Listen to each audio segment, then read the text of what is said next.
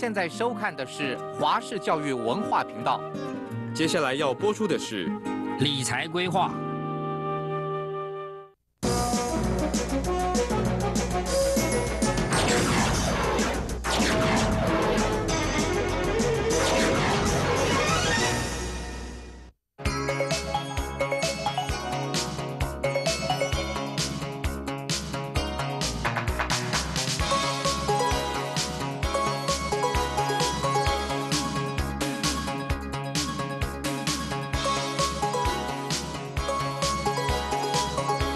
大家好，又到我们理财规划的时间。那我们今天啊，呃，要跟各位讲的主题是第十七讲，有关于家庭保险的一个需求。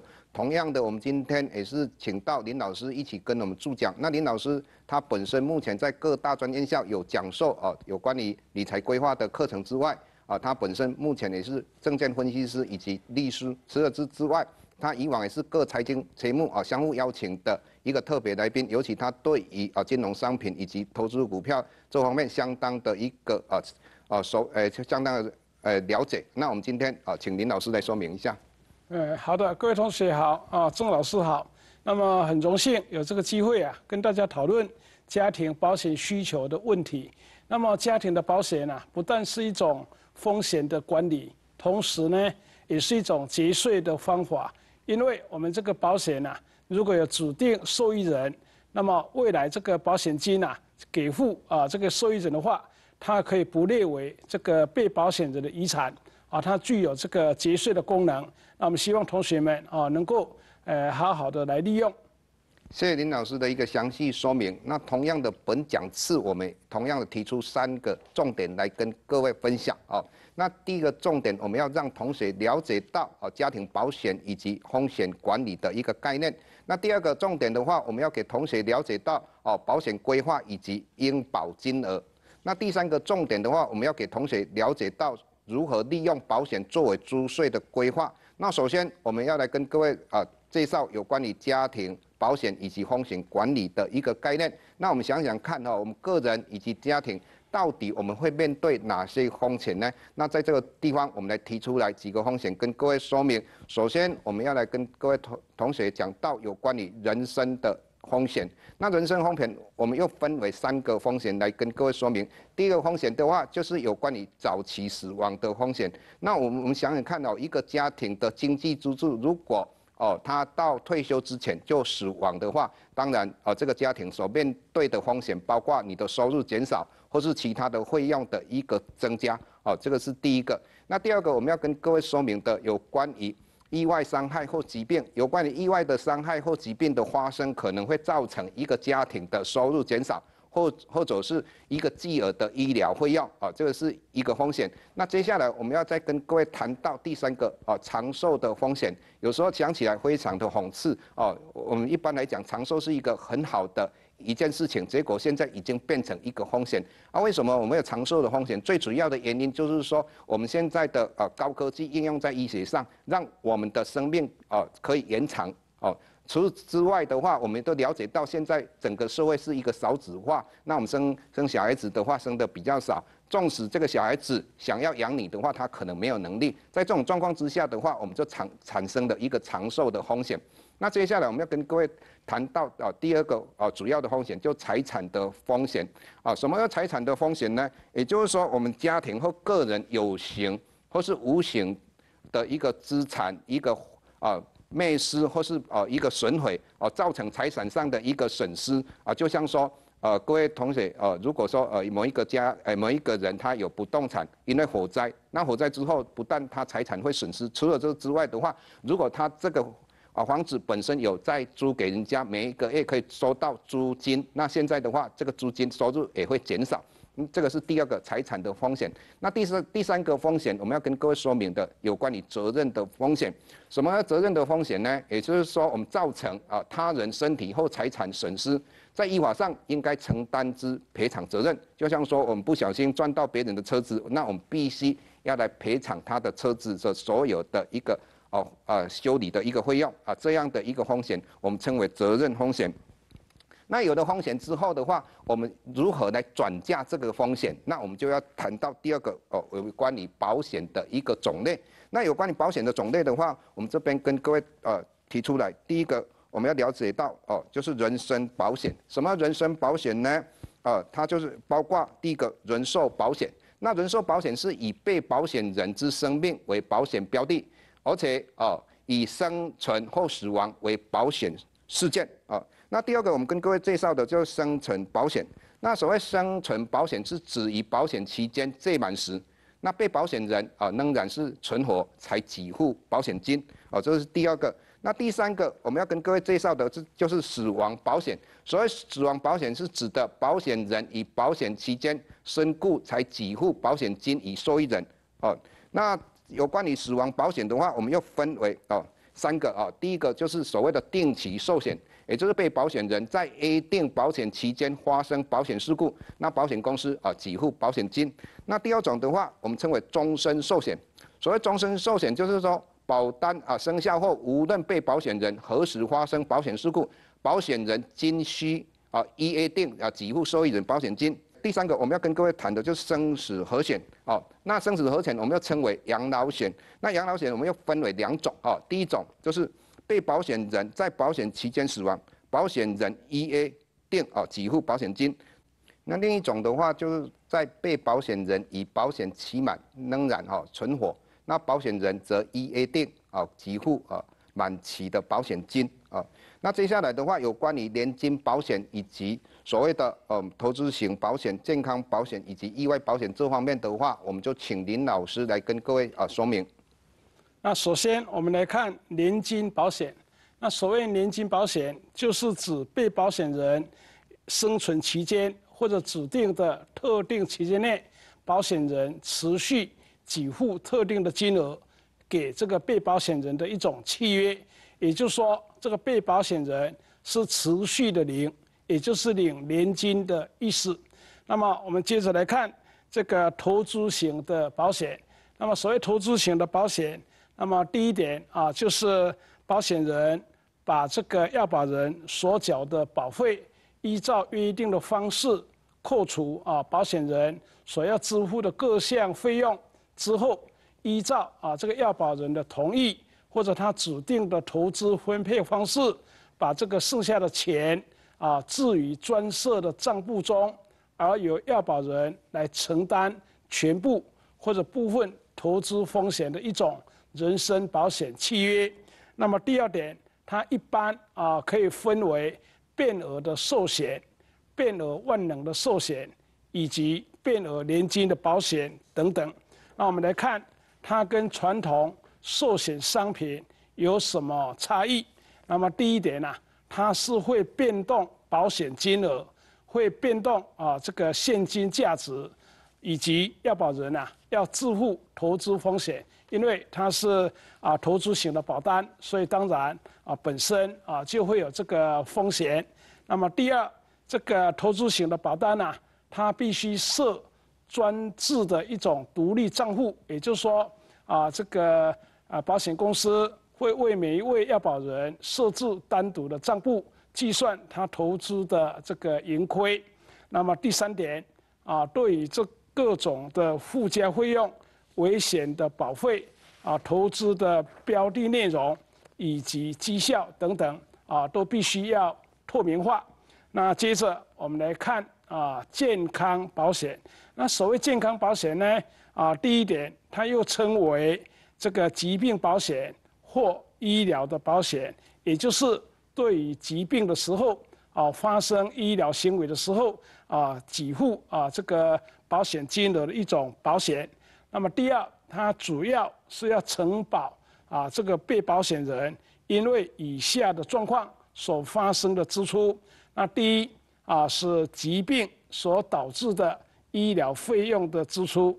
那第二是因为疾病所导致丧失工作能力，因而造成的啊收入的减少或者损失。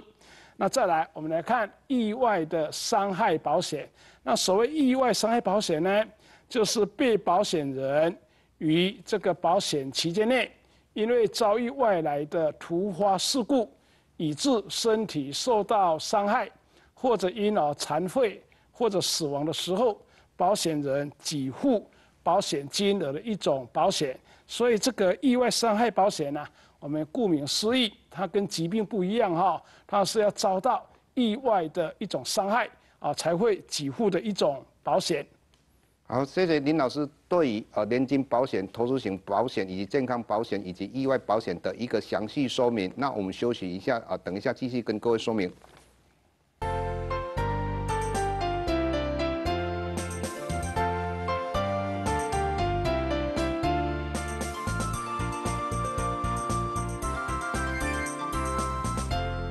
那接下来我们跟各位再介绍另一种呃金呃保险商品哦，就是微型保险。那微型保险它本身最主要是为了呃那些经济弱势的团体哦所设的一个哦所谓的保险。那它指的是保险内为了呃经济弱势者提供基本保障的保险商品。它的特色的话就是低保额、低保费，而且它的保障是非常的简单。第二个，保障的内容都是以意外事事故啊造成身故或是残废。那第三个，我们了解好它的保险的最高金额为三十万哦，就是有关于我们保险的一些种类。那接下来我们要跟各位啊介绍的就是第二个单元。那第二单元的话，就是要让同学了解到保险规划以及应保金额啊。那讲到这个单元的时候，我们首先来了解啊人身保险规划啊，在这方面的话，我们必须注意哪几点的一个重点。那我们这个这边提出来哦。四个重点跟各位说明。那第一个重点的话，我们要了解到保单的预定利率与保险费之间的关系。那我们第一个我们要去了解到哦，预定利率乃至保险人给予保护之折扣率。哦，第二个这个代表什么？保险公司取得保费资金的利率成本。那当然在这种状况之下，我们就要了解到预定利率如果说越高，那保费。哦，就 A 低，反之一定利率 A 低的话，保费当然就是 A 高。那第二个，我们要让啊要去了解到说，呃，你这个保单到到底有没有分红？也就是说，我们可以分为分红保单与不分红保单。哦，那两个的最大差异的话，哦，有关于分红保单，那那就是指的是寿险公司啊经营分红的保单所产生的盈余，必须以保护分享。那保护至少可以享受到七成的盈余。哦，那也就是我们要了解到哈，只要呃我们的你是一个分红保单的话，当然如果保险公司的呃盈利越多的话，当然你就可以享受的利益就越高啊。这个是第二点，各位同学必须要了解的。第三种，第三个我们要必须要了解，你购买的投资型保单要评估哦寿险保障需求以及注意哦它的费用的一个结构。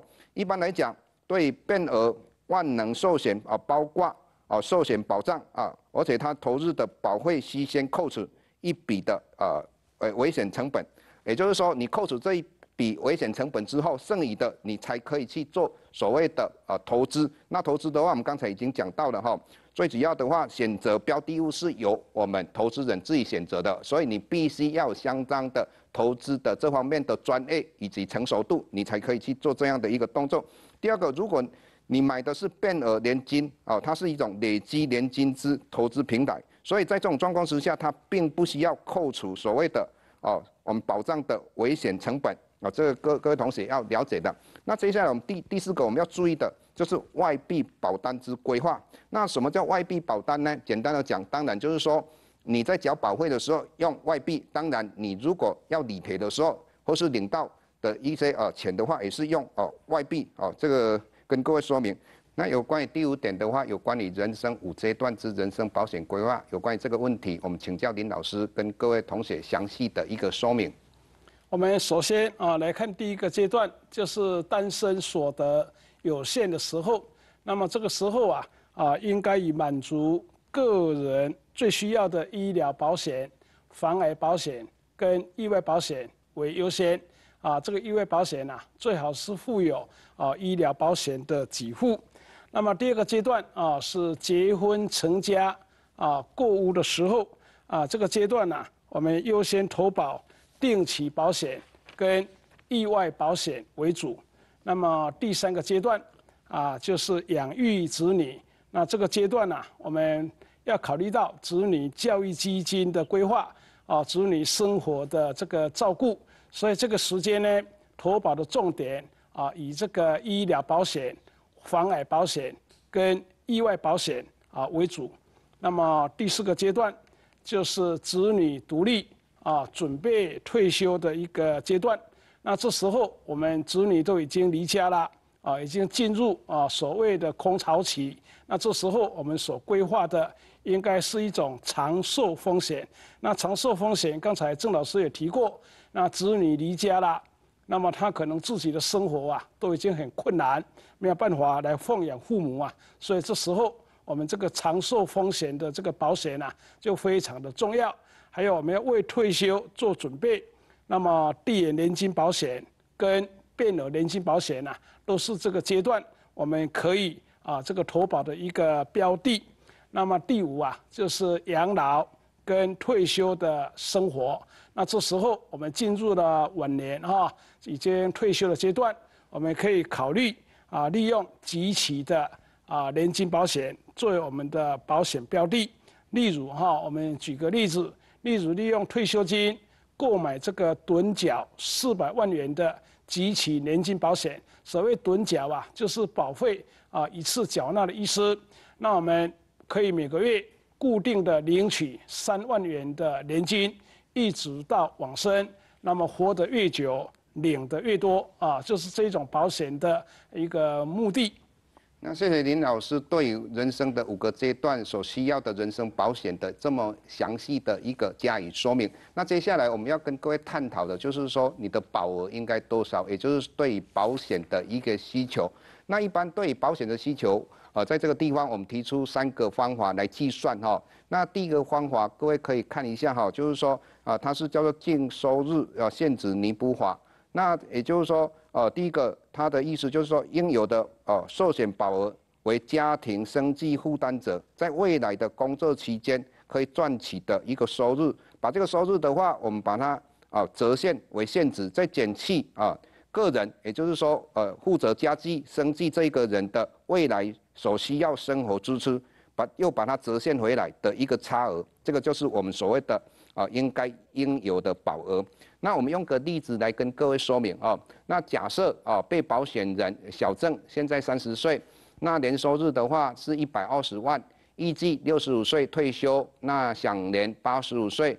那若目前家庭啊年支出是八十万，其中三十万为小郑个人消费支出，那实质的投资报酬率为百分之五。如果我们用净收入限制弥补法，它应该要保多少的金额才足够？那我们就这样算哈，它的公式就是说，它的应保哦寿险的一个保额是个人未来收入啊折现，再减掉个人未来支出的折现啊。那从这个例公式里面，我们用这个例子，我们来加以说明。也就是说，它呃矫正啊个人未来的收入的折现是这样算的，也就是你用一百二十万再乘以。哦，我们用呃前面所跟各位啊，呃前面各位曾经学过的年金现值利率因子哈，它的利率是百分之五，期间的话是三十五年，那我们就可以等于一百二十万乘以哦它的因子就是十六点三七四二，那在在这种状况之下，我们求出来就是一千九百六十四万九千零四十元啊，那接下来我们再算一下啊呃矫正的话哦，它未来。哦，每一年他必须花费三十万元，那我们用呃年金现值哦把它折算回来，我们就可以折算出来，他必须花费就是五百五十九万九千零五十元啊。那在这种状况之下，我们刚才应用那个公式哦，就是它的保险需求就是把一千九百六十四万九千零四十元减掉啊五百五十九万九千零五十元，那结果我们求出来啊它。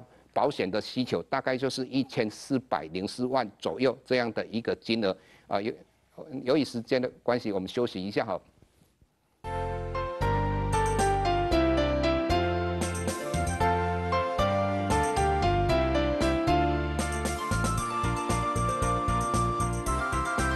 接下来我们继续跟各位介绍有关于啊保险需求的第第第二个算法，就是所谓的遗嘱需求法。那所谓的遗嘱需求法，也就是说，呃，它是应由寿险保额为家庭生计负担者之遗嘱一生所需的支出总额，哦，折现值，再减再扣除哈，他现在已经累积的一个净值，也就是说，他目前已有已拥有的一个啊存款或是呃他的资产啊。那我们用一个例子来跟各位说明哈。那同样的，我们假设呃假设啊被保险人啊小郑现在同样是三十岁，目前的话他有定期存款是两百万啊，为了维持。呃，家人的生计啊，三十三十五年。若目前家庭的支出为八十万年，其中三十万年为小郑个人的消费支出，那我们同样的实质报酬率百分之五。那如果我们用遗嘱呃啊需求法，那应该保多少的金额？那从这个题目我们就可以了解到啊，因为啊家人每一年他必须支出就是呃他的年所得八十万减掉啊小郑自己要花三十万。那剩下的就是五十万，这是五十万就是家庭的开销啊。那我们用五十万的话，同样的把它折现回来。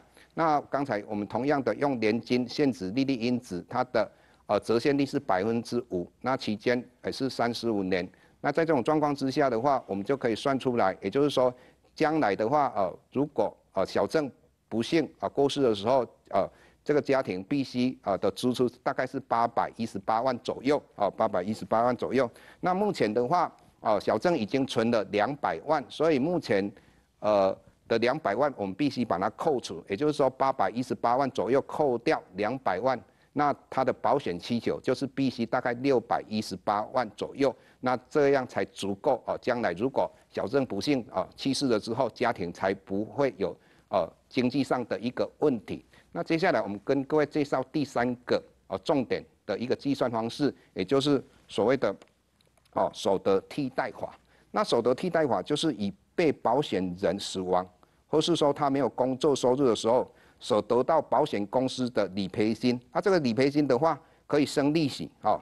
那这个利息就要作为遗嘱的生活费用。所以在这种状况之下的话，我们就可以这样的一个公式来跟各位说明。那理赔金乘以存款利率就等于遗嘱的生活费用，那所以我们就可以把它移过来哈，应有的保额就是等于遗嘱的生活费用除以存款利率哦。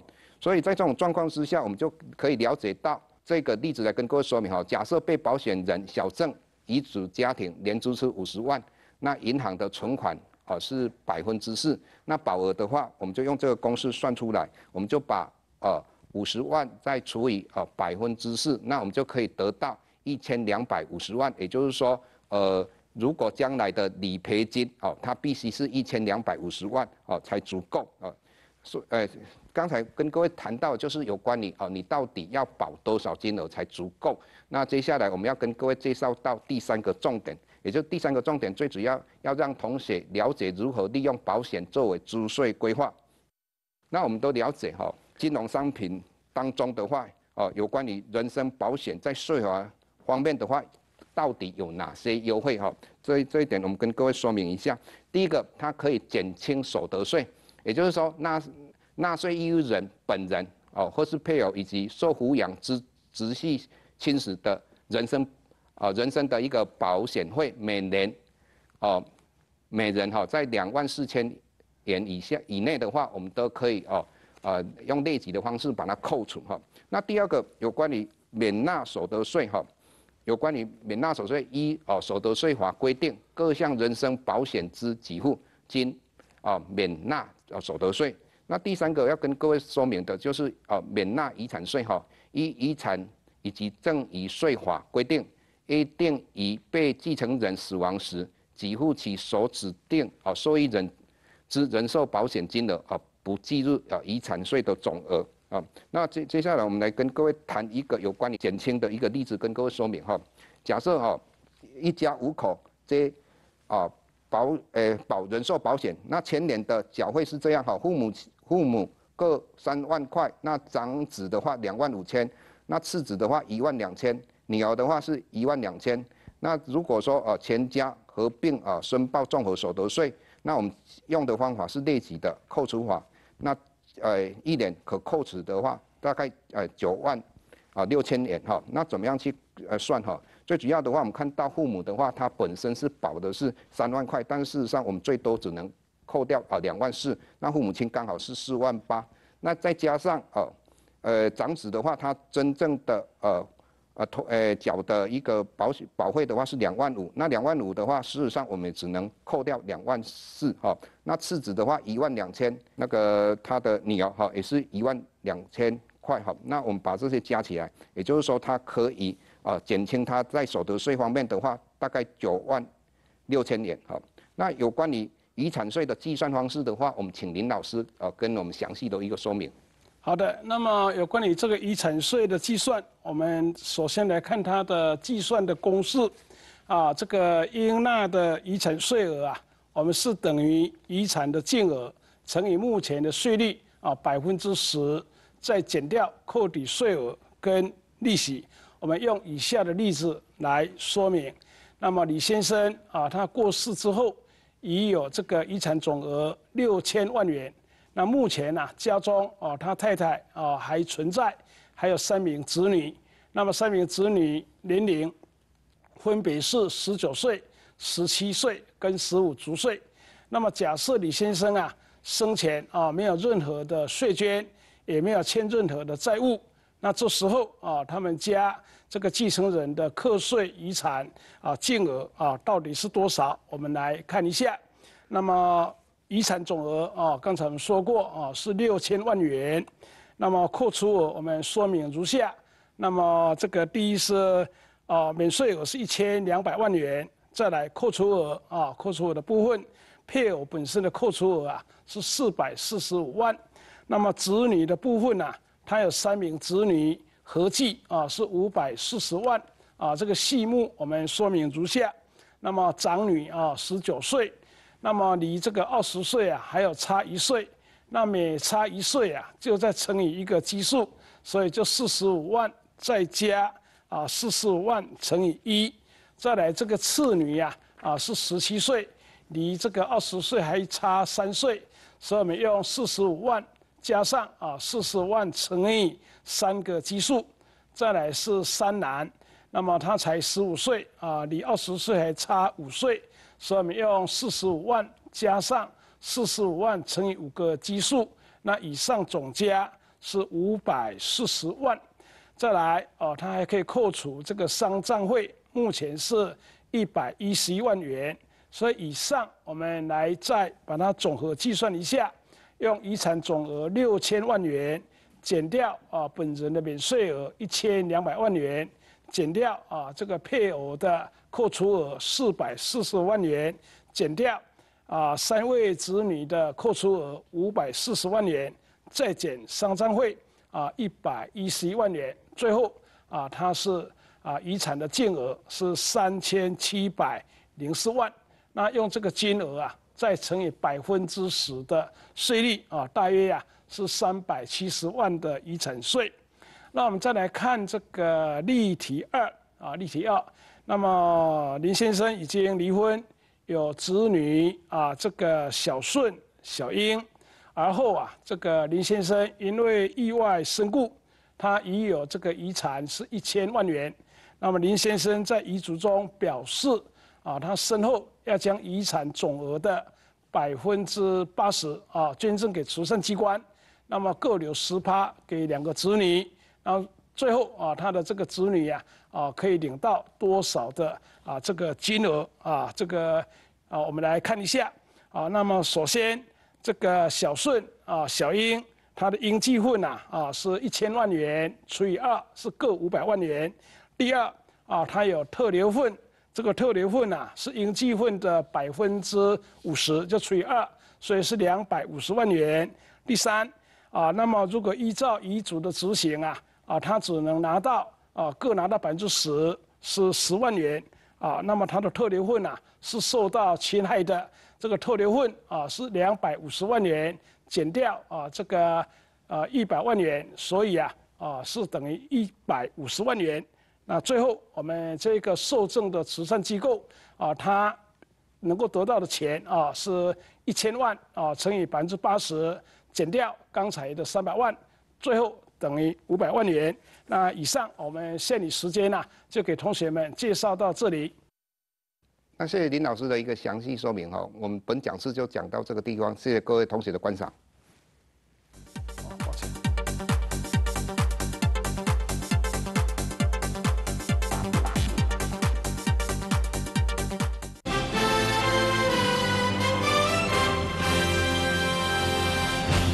浩瀚，知识无穷。华视教育文化频道。